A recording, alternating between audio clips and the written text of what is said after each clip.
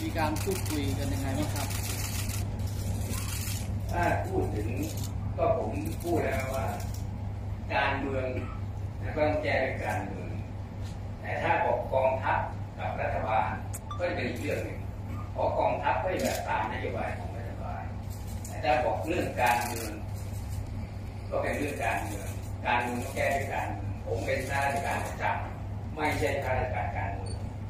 เพราะนั้น ผมจะปฏิบัติตามนโยบายของรัฐบาลรัฐมนตรีกลาโหมผู้จัดการอาหารสูงสุดเพราะฉะนั้นเพราะฉะครับเกี่ยวกับเรื่องเรื่องนี้มีพี่น้องประชาชนฝากมาถามกันเยอะนะครับในฐานะที่ท่านดำรงตำแหน่งพบทบถึง 3 ปีเนี่ยนะครับ แล้วก็จะให้ความมั่นใจหรือให้สัญญากับพี่น้องประชาชนกับรัฐบาล กับนักลงทุนยังไงบ้างครับว่า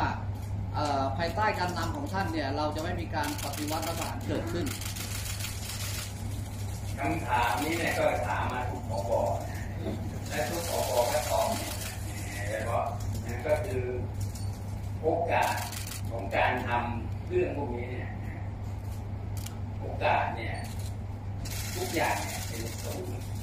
นะเป็นศูนย์หมดนะแต่ว่าบนพื้นฐานเนี่ย ผมอยากให้ฝ่ายหนึ่งฝ่ายใดสร้างเงื่อนไขสร้างปัญหาที่รุนแรงนะความขัดแย้งที่รุนแรงที่กระทบต่อความเดือดร้อนหรือความในซึ่งซึ่งผมถือว่าผู้จัดการอาหารสูงสุดเมื่อวานก็ตอบไปแล้วว่าอาหารไม่มีความผิดเรื่องพวกนี้นะแต่ผมอยากให้คนเนี่ยร่วมกันสร้างสรรค์ในสิ่งเหล่านี้นะ สร้างสรรค์ด้วยการกระจัดเงื่อนไขต่างๆเหล่านี้ให้หมดไปให้มันติดลบให้มันติดลบนะศูนย์ก็ไม่พอต้องให้มันติดลบเลย แต่การจะติดลบได้เนี่ยทุกคนต้องช่วยกัน สร้างสรรค์ช่วยกันทำอย่างไรก็ตาม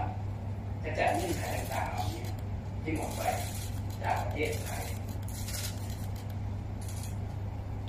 แสดงว่าท่านก็ให้คำมั่นสัญญาว่าจะไม่มีเหตุการณ์เกิดขึ้นโดยเด็ดขาด หรือแล้วแต่สถานการณ์จะนำพาเราไป ก็คือโอกาสมันไม่มีอยู่แล้วสถานการณ์เนี่ยผมเชื่อว่าประเทศไทยไม่มีประเทศไทยตอนเนี้ยเป็นประเทศที่ดีที่สุดเราก็เห็นอยู่แล้วเนี่ยเป็นประเทศที่มีเสรีมากที่สุด เป็นประเทศที่อุดมสมบูรณ์มากที่สุดนะเป็นประเทศที่ เราอยู่กันหาว่าทุกคนมีความสุขนะคนอยากไปอยู่ประเทศทุกคนไม่อยากอยู่ประเทศไทยตอนนี้อยู่มีความสุขที่สุด ใครก็อยากมาประเทศไทยตอนนี้ โดยเฉพาะในช่วงภาวะอย่างนี้เป็นประเทศไทยเป็นประเทศที่มีมาตรการ มีการช่วยกัน มีการอะไรมีวินัยในการที่จะรักษาตัวเอง โดยเฉพาะในภัยของโควิด ในสถานการณ์ของโควิดแต่วันนั้นเนี่ย ตอนเนี้ยทุกคนเนี่ยอยากมาอยู่ประเทศไทย เราถึงบอกว่าต้องช่วยกัน ช่วยกันกระจัดเงื่อนไขหรือปัญหาต่างๆแล้วร่วมมือร่วมแรงที่จะทำให้ประเทศไทยเนี่ยฟื้นตัว ตอนนี้จริงๆเราเนี่ยฟื้นตัว ในสภาพแวดล้อมเนี่ยมากกว่าประเทศ